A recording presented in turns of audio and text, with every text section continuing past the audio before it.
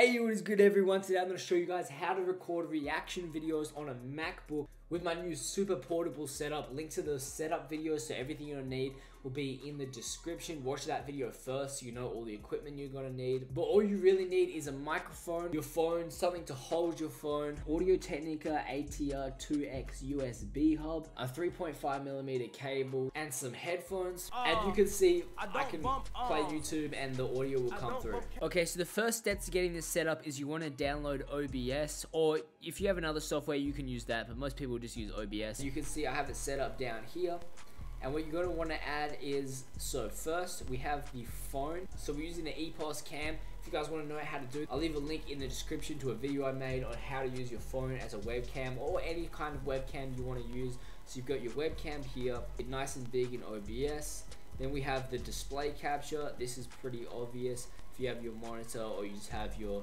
regular laptop, you want to just select the screen. So you just go in here and then go uh, display display capture. Now this is optional. As you can see on the screen I have like a little animation that shows my socials. I can make a video to that if you guys want to know how to make something like that. That's something optional you can add. But here's where it gets important. So for the Mac audio I have the ATR2X USB device. As I said, you're going to need that and I'll show you how to set that up properly.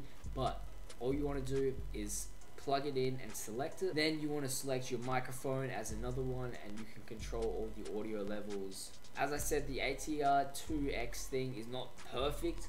It makes a little buzzing sound. As you can see, it's pretty annoying. If you want to get rid of that, you can use the audio interface. They work fine. I've got another video on like when I had a proper setup on how to do that, but the ATR 2X thing is just so portable. I put up with the buzzing sound. It doesn't really annoy me too much. And then I've got this background music, but I normally just turn that off when I'm actually recording reaction videos.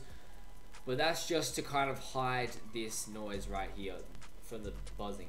So if you notice, if you just have it set up like that, it won't work. You need to plug a 3.5 millimeter cable going from your MacBook into the microphone port on the ATR2X USB device and then you plug your headphones into the ATR2X USB device. But now you're thinking, well now I can't hear myself because the audio is only coming out of my MacBook headphone port into the ATR2X device.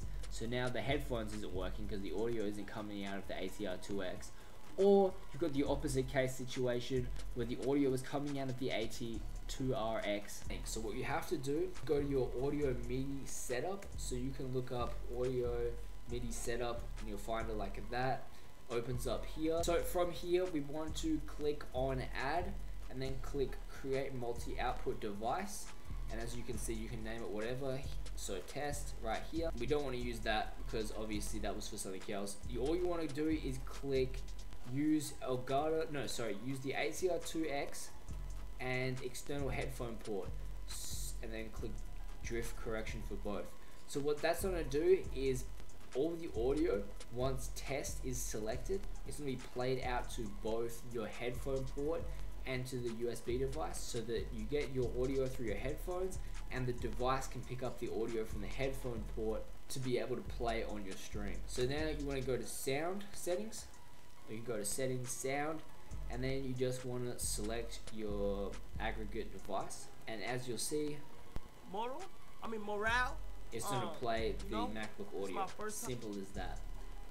And then you have your full setup just like this. It's that easy man.